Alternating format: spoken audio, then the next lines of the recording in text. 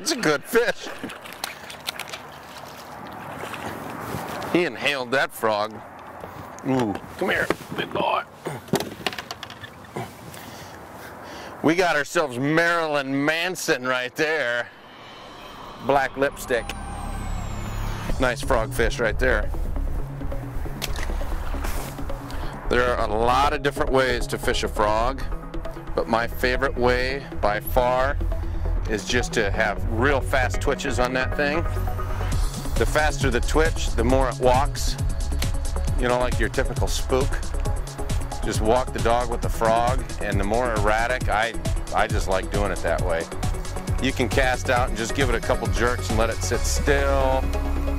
You can reel it in real slow or fast, but I do these twitches, and that's what produces for me.